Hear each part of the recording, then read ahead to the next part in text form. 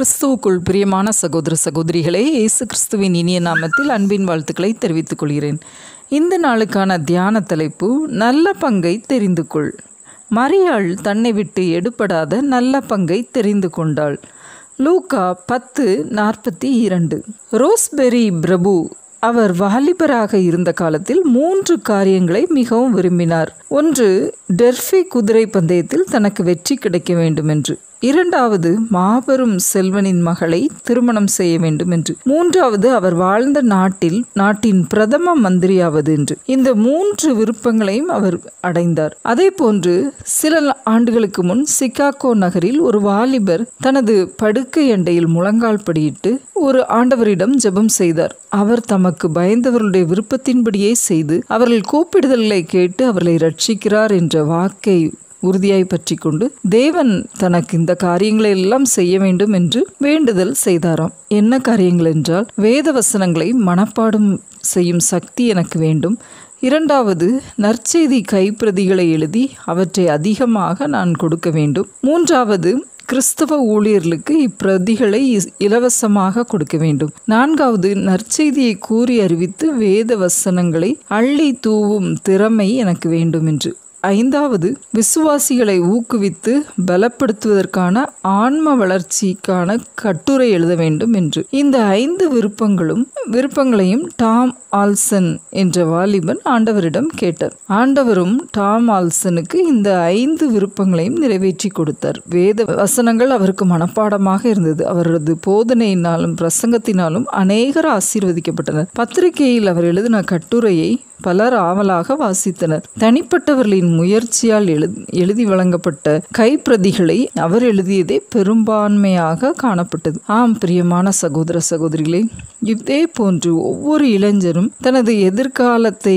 குறித்த விருப்பத்தை ஆண்டவரிடம் தெரிவிக்கும் போது நிச்சயம் அந்த விருப்பம் நிறைவேற்றி கொடுக்கப்படும். உன் மன விருப்பத்தின்படியே உனக்கு அருளி செய்வேன் என்று வாக்கு கொடுத்த தேவன் தாமே அவர் ஒவ்வொருவருடைய விருப்பங்களையும் நிறைவேற்றி வைக்க சித்தமுடையவராய் இருக்கிறார். வேதத்தில் சாலமோனிடம் ஆண்டவர் நீ விரும்புவது என்னவென்று கேள் என்று கேட்டார். அவன் ஞானத்தையும் அறிவையும் கேட்டார். அவனுக்கு அதோடு செல்வம் மேன்மை வெற்றி நீண்ட ஆயுள் எல்லாவற்றையும் ஆண்டவர் கொடுத்தார் என்று பார்க்கிறோம். அப்படிதாமே நம் ஒவ்வொருவரிடம் தேவன் கேட்கிறார். நாம் எதை அவரிடம் கேட்கிறோமோ அதை உண்மையில் பெற்றுக்கொள்வோம் என்பதை நாம் மறந்துவிட கூடாது. நாம் விரும்பும் வாழ்க்கையை அல்லது வேலையை நாம் ஆண்டவரிடம் கேட்கும்போது அடைய முடியும். ஆனால் நாம் விருப்பத்தோடு கேட்கிற காரியம் எப்படியாக காணப்படுகிறது? நல்ல பங்காக காணப்படுகிறதா என்று நாம் சிந்தித்து ஆண்டவரிடம் கேட்க வேண்டும். ஏனென்றால் உலையிலிருந்து உருகி வரும் இரும்பை எந்த உருவத்திலும் பார்க்கலாம். அது குளிர்ந்து உறுதியான பின் அதன் உருவத்தை மாற்ற முடியாது.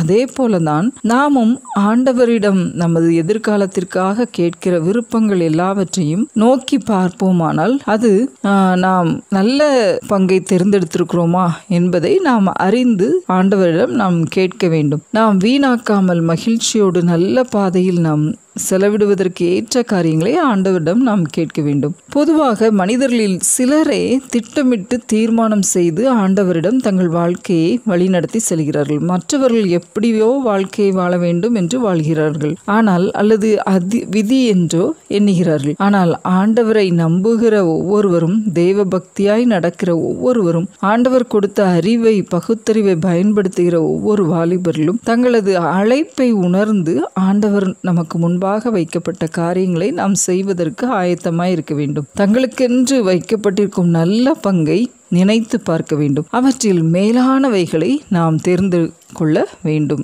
ஜெபம். அன்பின் பிதாவை இந்த அருமையான நேரத்திலும் அப்பா ஆண்டவரே நல்ல பங்கை தேர்ந்தெடுத்து கொள்ள எங்களுக்கு கிருபை செய்யுங்க இசப்பா ஒவ்வொருவர் அழைப்பிற்கேற்ப எங்களுக்கு முன்பாக வைத்திருக்கும் ஆண்டவரே விருப்பங்களை ஆண்டவரே நாங்கள் ஒரு மேன்மையான எண்ணத்தோடு ஆண்டவரே அதை விரும்புவதற்கு எங்களுக்கு கிருபை தாரும் அப்பா. ஆண்டவரே மரியாள் தன்னை விட்டு எடுபடாத நல்ல பங்கை செலக்ட் பண்ணது போல.